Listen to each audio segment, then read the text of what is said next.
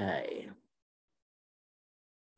A new documentary is about to start in Australia, a film called Blind Ambition, uh, a film that has just won uh, or has won the uh, Audience Award at Tribeca. So it's my great pleasure to be speaking to the uh, co-directors of uh, the film, Robert Coe and Warwick Ross. Warwick and Robert, welcome to Movie Metropolis. Thanks very Thanks, much. Peter. Good to be here. and I have vague memories of talking, maybe it was just to you, Warwick, about Red Obsession, uh, which goes back a number of years about uh, uh, the uh, Australian wine industry in China. And I'm sure you can now make a sequel where there is no Australian wine industry in China. yeah, a very short documentary. Oh dear, oh dear. No, no. This is such a fascinating story about four Zimbabwean South African men uh, who uh, were involved in the World Wine Blind Tasting Championships. Wow, who knew that existed? So, so tell me about the steps along the way that uh, you were able to both make this uh, documentary. So we, we first heard about the story of uh, our four protagonists through Jancis Robinson, actually. So Jancis, we interviewed for Red Obsession. She was one of the, the, the key interviewees for that film. And um, as the years had, have gone on after Red Obsession, she's always kept an eye out for interesting stories because she knew we were looking for something. And um, she contacted us through Andrew Caillard, who's a master of wine who was in, involved with Red Obsession also, um, and said, You really have to talk with these four guys. They live in Cape Town, they're sommeliers, but they have the most amazing backstory, and they're planning to go to this, this world championship um, so within um, a, a, day or two of that suggestion, Rob and I were already Skyping with the four guys. Uh, they were in Cape Town and we were here in Australia. And we were so impressed with their story that within three weeks, Rob and I were in Cape Town with a film crew. Wow. And, and I gather they gave you full permission to film them, to discuss anything with them? Yeah, it was one of those aspects whereby they were somewhat tentative at first. You know, I guess no one really enjoys having a camera thrown or thrust in front of their face.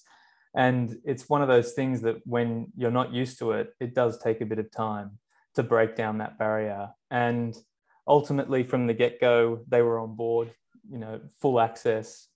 Um, they told us they were willing to talk about everything, but it really did take a bit of breaking down, a bit of developing a rapport uh, just spending hours and days and months with the guys to eventually get the best out of them. And ultimately, we were filming for close to two years, um, on and off, as we traveled back to Zimbabwe, back to South Africa, and uh, and and back to France. So it was it was yeah full access was provided, and and the fact one of the key things that got us over the line was the fact that they had seen Red Obsession and they loved the film. So that was one of those really great happenstances that yes, they've seen it, they liked it, we're in. uh, and I mean, all four of them have such interesting backstories and uh, and tales to tell. Um, some of which are uh, really, you know, fairly sensitive and, and so on. But uh, I gather that they were able to talk about some of the racism and other things that they have had to deal with. Yes, yes. Some of them um, had very confronting stories, um, and Joseph, in, in particular, whose family was starving in Zimbabwe, and he decided that he and his wife um, needed to get out of Zimbabwe however they could, and they were people smuggled across the border into South Africa. But no sooner had they arrived in South Africa than they were subjected to discrimination and xenophobic attacks. Everything they had with them, which wasn't much, was stolen from them. Um, so it's it, their hardships were extreme and to think what they overcame to get from that point to representing Zimbabwe at the World Wine Tasting Championships is a uh, is a is, it's a pretty unusual story uh, and one of great determination. Yeah. It, it, certainly is, and that comes across so well in, in the documentary Blind Ambition. And uh, this French coach, who uh, I mean, you, I suppose you you always need to have a villain somewhere along the line, but uh, this guy was incredible. Warwick and I said as soon as we met Denis that we couldn't have scripted a better character. It was just an utter delight and absolute torture to work with him, knowing the material that we'd have in the edit room, but also, you know, film enduring the long days of filming with him. But we were we were lucky from a creative point of view to have a character like that that would cause conflict, that would set the guys back. It was it was a, it was he was a villain, um, but he also did have a, a, lot of heart, and we we did try to get that across that he was just um, someone who was caught up in this competition and was attempting to to do well for the for Team Zimbabwe. It's just that his efforts were were not well uh, undertaken, and so ultimately it was it was fantastic having him as a character in the film, and um, and yeah, it was we were lucky. Absolutely, yeah. Now, as I said just before, I'm not so familiar with these uh, with an international uh, blind wine tasting um, sort of competition and so on. How long has that been around, and and how massive is it in terms of its uh, international exposure?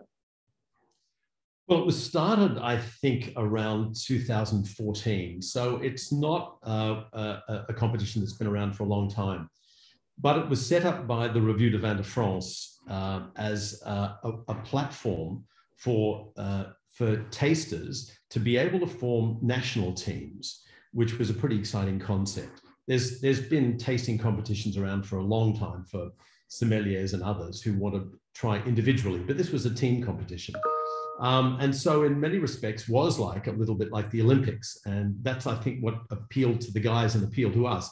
This was a way that they could represent their country, which was more important to them than representing themselves. Uh, and so they had their jackets made with Team Zimbabwe on the back, proudly wrap the Zim flag around their, you know, around their shoulders.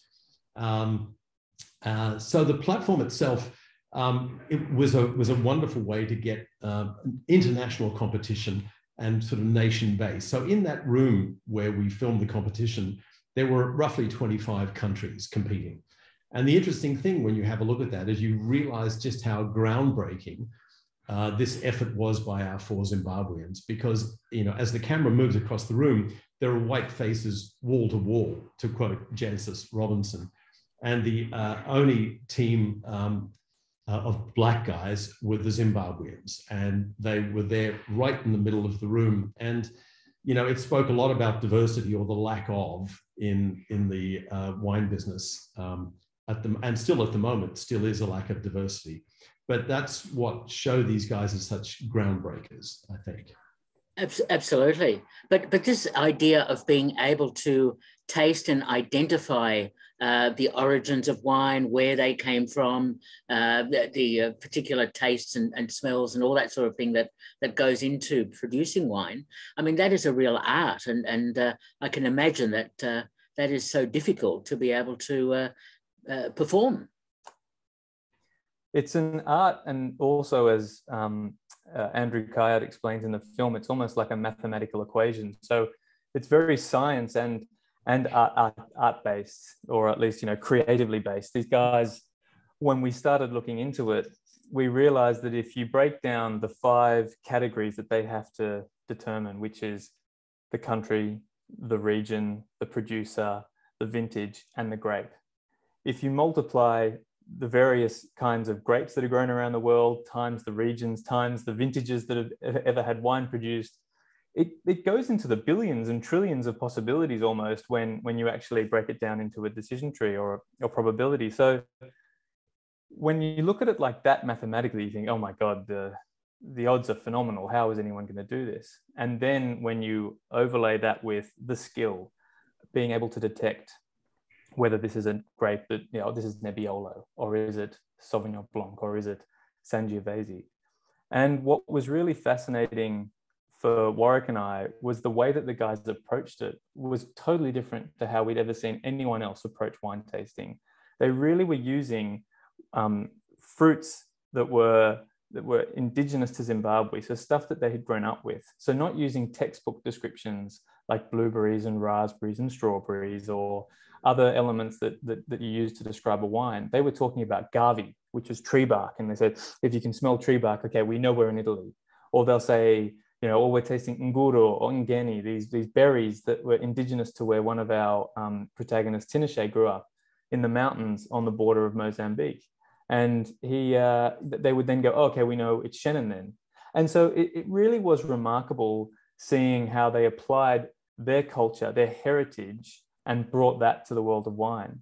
And all of a sudden, we realized that that was this really rich secondary layer to the film, whereby as this, at the same time that the guys were trying to determine where the wine is from, they're also asking this question of themselves where do I belong? Where am I from? I'm a refugee, but where do I call home? And there was this, this symmetry that we saw in what they were trying to achieve, but also what that in, in the competition, but what they were trying to achieve with their lives.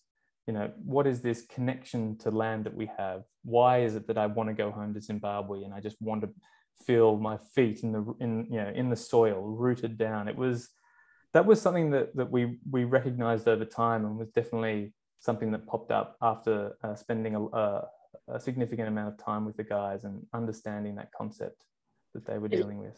Yeah, that is really interesting, and you're right. That dual edge to uh, to the uh, I suppose the narrative, if you like to put it that way, of the documentary. So yeah, that, that is really interesting. Now, obviously, this is a formative documentary. You know, don't know the outcome uh, in advance, uh, and so you you film them on the way, all that sort of thing. That in itself must be challenging because you don't know how it's going to conclude. Well, that's quite right. That's the nature of documentary. You know, you uh, you you uh, you start on this journey, but you have no idea where it's going to end up. Uh, in many respects, you just hold on to the story and you let it pull you around. Um, at the end, you're sitting in an editing room with all of this um, footage, and you then have to make sort of a cohesive um, uh, story from it. But um, I think there were some basic things we knew at the very beginning, which was um, ostensibly and sort of superficially in many respects, this was a story about four blokes that were going to compete at a world championship. Uh, and so that was kind of an exciting prospect. But we, we did wonder whether they, they had any possible chance of winning. And if you really look at it, um, you know, if you looked at it on, on paper, you would say they had absolutely zero chance. But as the film progressed, we really began to believe in their talent and their incredible uh, at, at picking certain things and using their indigenous skills, indigenous fruits from Zimbabwe to be able to pick things. So, um, you know, you begin getting swept along with that current and um, without, you know, uh, without uh, giving away anything about where they ended up. The interesting thing with this story is it became obvious to me and Rob that regardless of where they came in this competition, there was a much deeper story to tell which is the story of each one of their, their hardships and what they had to overcome just to even get to the competition, let alone how they would do there. And, you know, and where their lives would go after the competition. Um, and they've all taken their own career path now and they're doing remarkable things. I was going to ask you about that. Where are they now, and uh, and and how did they respond to the uh, to your documentary? they uh, we're so thrilled because when you when you embark on a documentary like this you really are taking on quite an onerous task of making sure you represent real people. You know this isn't scripted. You want to make sure that their story is reflected in a way that they are proud of and that is accurate and that it, it's quite a significant uh, undertaking. And so you're always nervous as a filmmaker i think of documentaries when you've got existing protagonists when you show them the film luckily they they were really happy with uh, what Warwick and I had done and uh, our broader team and um, they, they they love it. They do love it and it was really exciting to be able to screen it to them just before the uh, the world premiere in uh, in Tribeca uh, in New York. But um, going back to your, your your initial question was? Uh, well where are they now? Where are they now? Of course so where are they now so Pardon has moved. He's still in the Netherlands, um, uh, where where we end up in the film with him.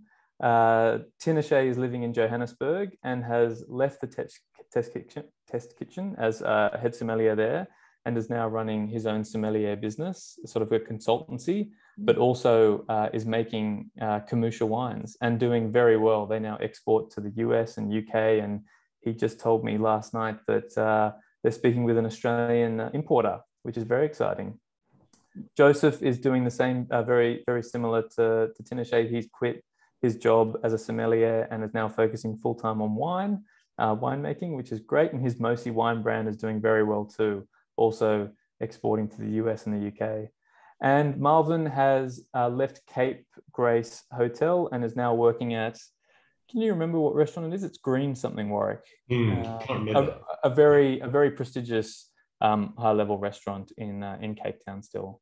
But it, it is it has been remarkable because we've been filming for so long to be able to watch their journey and their progression, and they are they continue to succeed at every level. It's a, a task that they see, and they just are so determined uh, to do well, and it, it, it has been astonishing to watch their uh, watch their journey.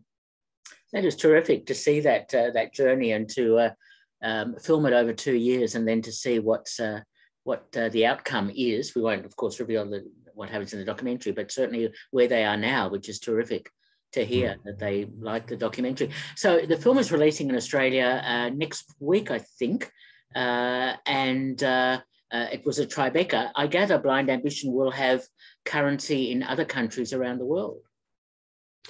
Yes, yes, we have um, through our sales agent, Protagonist in London we've made sales to the United States, um, United Kingdom, um, uh, countries throughout Europe, Japan. So it's it's getting good traction from from buyers everywhere. I think it's one of those stories that is sort of it's uplifting. Uh, so it has sort of a universal theme to it. I think, which can be translated into any of those countries. Um, yeah, we're very hopeful it'll do well. Oh, absolutely! It's a yeah, it's an excellent documentary, um, and so I'm quite in, intrigued. Uh, Robert and Warwick, are you working on another film at the moment? Yeah, we have uh, a few films that we're working on at the moment. Uh, a few, mainly scripted, um, that we're working on at the moment. There is one documentary that we're focused on, but always looking out for that next story, particularly in the wine world. We mm. don't know what it'll be, but um, you know, Warwick and I have always reflecting on both Red Obsession and Blind Ambition, these are stories that are set in the wine world, but they generally don't have much to do about wine. they have a, lot, a lot to do about um, other aspects with uh, Blind Ambition, obviously much more human story and with Red Obsession an economic story. But who knows uh, what the next one will be in that respect. But yeah, we are working on a few projects at the moment. Oh, excellent news. And I must ask you about the experience of Tribeca. Were you able to be there when it was uh, screened? Well, unfortunately, no, we weren't able to go. Yeah, everybody was in lockdown. Nobody was traveling. You know, there were no aeroplanes, so we, we couldn't go. Red Obsession uh, was invited to screen at uh, Tribeca as well, and we were there for that. You know, when that film was out, and we were so looking forward to going because it's a wonderful festival, Robert De Niro's festival in New York. Um, but unfortunately, we couldn't uh, we couldn't make it. But it was you know it was some some compensation that we won the audience award and that came through by email. That good news. So yeah, that was something. Well, congratulations on that, and and uh, uh, and I look forward to your next documentaries, which um, yeah, something to do with the wine industry. Maybe it is something to do with China and how they have uh, now rejected Australian wines. That could be an interesting follow-up documentary. Uh, well, anyway, whatever. Look, congratulations on Blind Ambition, uh, screening in uh, cinemas next week. Uh, and we've been speaking to uh, Warwick Ross and Robert Coe all about Blind Ambition. Go and see it. Thanks so much for talking with me. Thanks, Peter. pleasure, Peter. Thank you.